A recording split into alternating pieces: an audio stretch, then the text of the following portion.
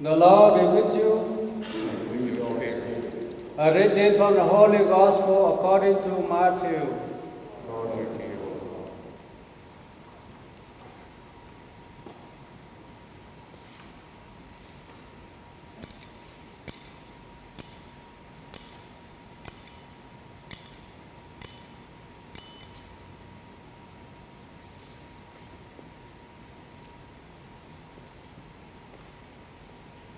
When Jesus saw the crowds, he went up the mountain, and after he had sat down, his disciples came to him. He began to teach them, saying, Blessed are the poor in spirit, for theirs is the kingdom of heaven.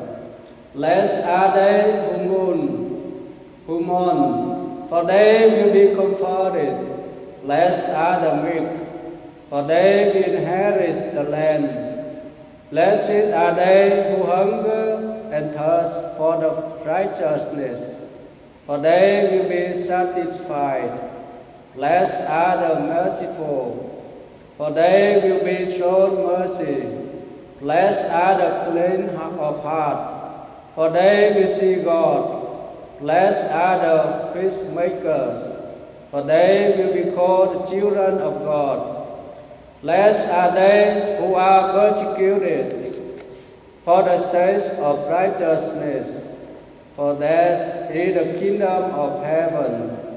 Blessed are you when they injure you and persecute you and utter every kind of evil against you falsely because of me. Rejoice and be glad, for your reward will be great in heaven. The Gospel of the Lord.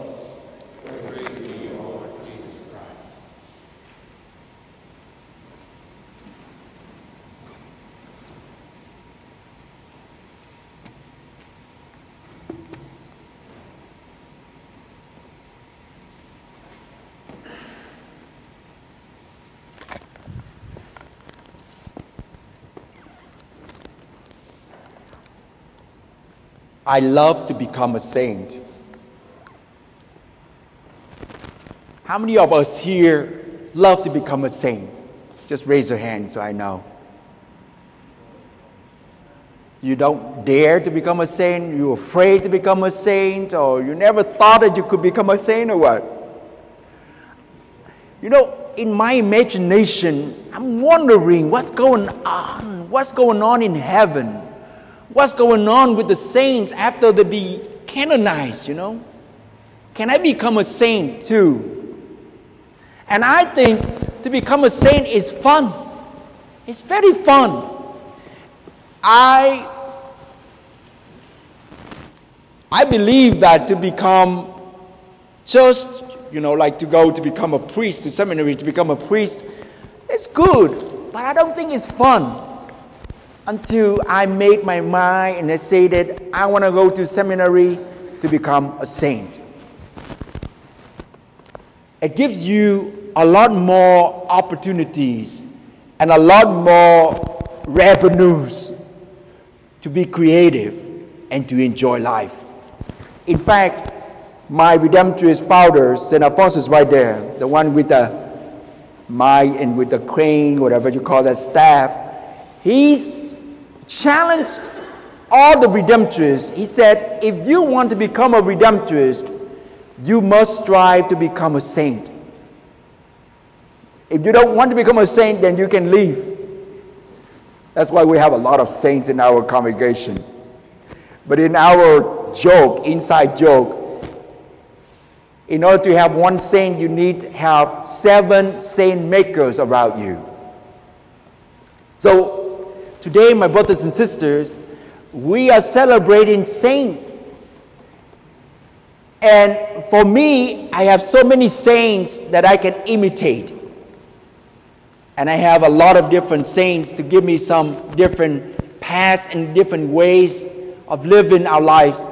But I believe that each one of us, when we come to this church, either on Sunday or on weekday, our longing our goal is to become a saint. Yes or no?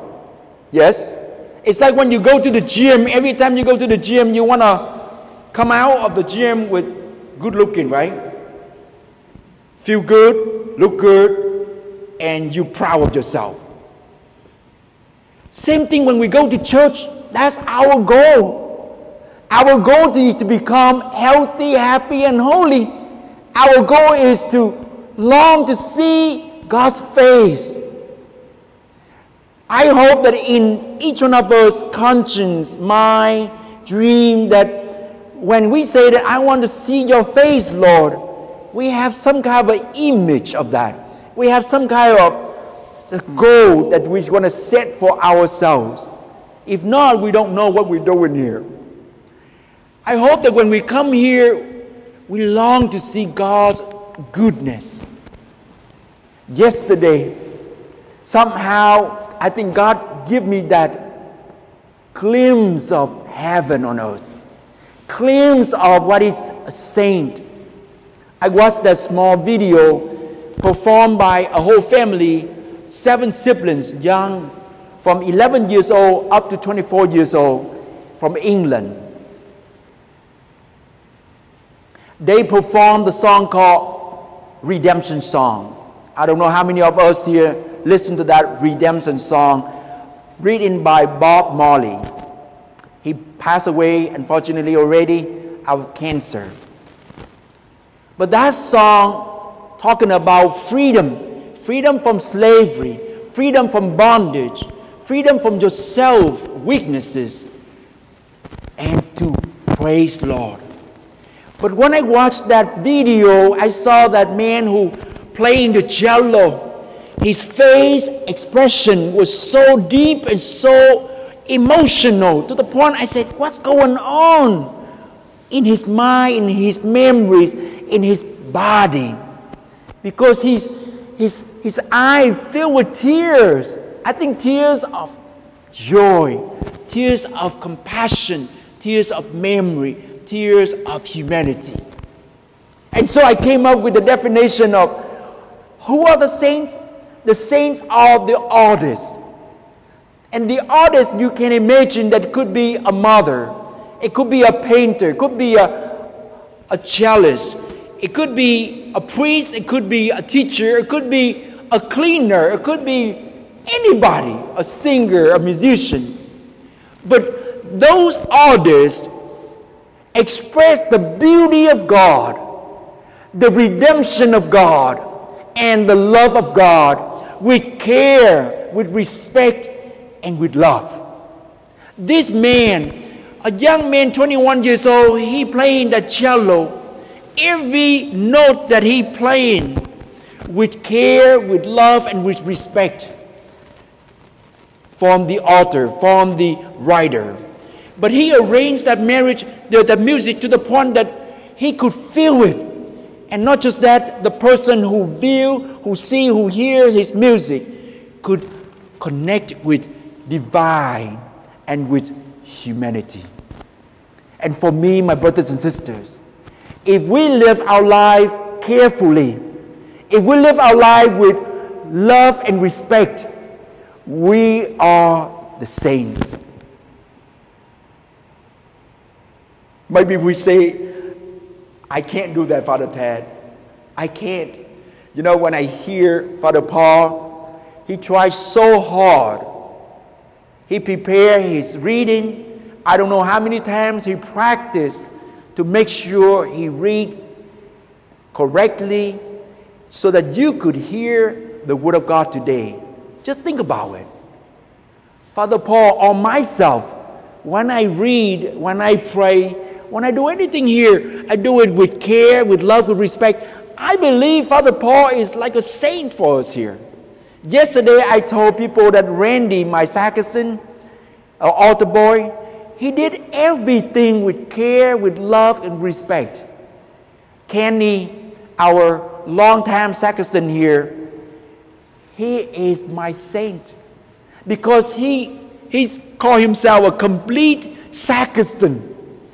He taking care of open the door, close the door, right? That's easy job. But he want to make sure all the trash bans, the trash can there empty after the mass. He want to make sure the candle will be filled with oil. He wiped every single thing around here. He arranged everything. The book marked. Everything is set up for us so that when we come to celebrate Mass, everything is ready. Now, maybe we didn't see it, but God sees everything. I imagine that if you are a mother or a father, you get up so early in the morning that nobody even knows. Your children didn't even know how much you have to pay for them for school, and then after that, for college, and after that, take care of their children. You are blessed. All the beatitude that you and I heard today, maybe is not for the future, it's for now. Blessed are those who are poor in spirit. The kingdom of God is yours. Blessed are those who mourn, because you will be comforted. Blessed are you who are the peacemaker. Blessed are you who hunger and thirst for righteousness. I'm thinking about my own children behind me, which is yours as well. They hunger for and thirst for righteousness, for good education, for good moral value. And I believe they are fed right now. They are nervous right now because of so many benefactors, good hearted like you. I believe that these children, they grow up with a sense of pride, a sense of peace, a sense of community, a sense of holiness, the sense of happiness, a sense of healthiness, and I want to prove with you, I have one graduate right there. Can you just raise your hand? He's right there. He just graduated from eighth grade last year. He come back here with his, his dad. And he looks so good.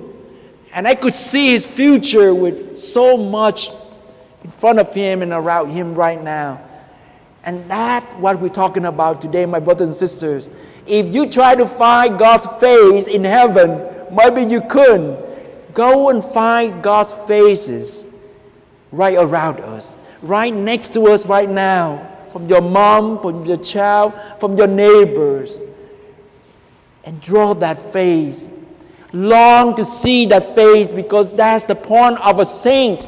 The saint is the one who longs to see God's face, long to see God's mercy, forgiveness, love, and more. And we have so many people already did that. They devoted themselves to make this world a better world, to make this school a better school, this community a better community, the family. Maybe God would say, Blessed are you, blessed are you, who did so much. And I don't know, I can bring this out. Bill, right here, buddy. Yesterday, his last day of his whole career working in tirelessly for a long time. Many of us here retired from our job. I encourage you, when you retire, throw a big, not just one party, many parties to celebrate your dedication, your hard work with your friends, with your family because you did it.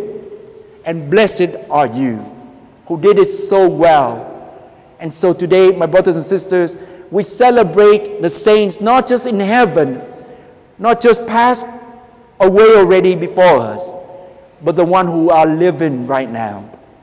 I don't want to mention your, your names, but I know each one of you had a difficult life. Like my friends there, Vietnamese family with two autistic kids. That is a burden but believe that Jesus today talked right next to you. Blessed are you who care for those children of yours.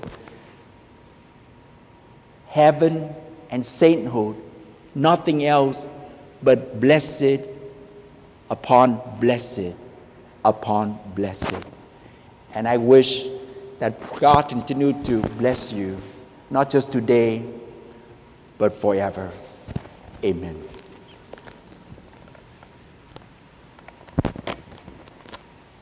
Please